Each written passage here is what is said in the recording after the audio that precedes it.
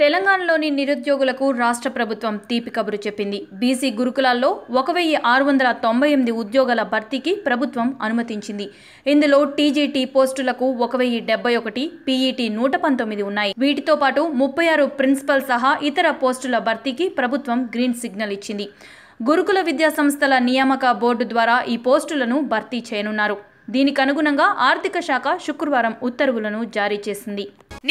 News update కోసం ఛానల్ను subscribe చేయండి. పక్కనే ఉండే బెల్ సింబల్ను క్లిక్ చేయడం మర్చిపోకండి. అప్డేట్స్ని మిస్ అవ్వకండి. Thanks for watching please like comment share follow on Facebook Google plus Twitter Instagram for more updates please subscribe great Telangana TV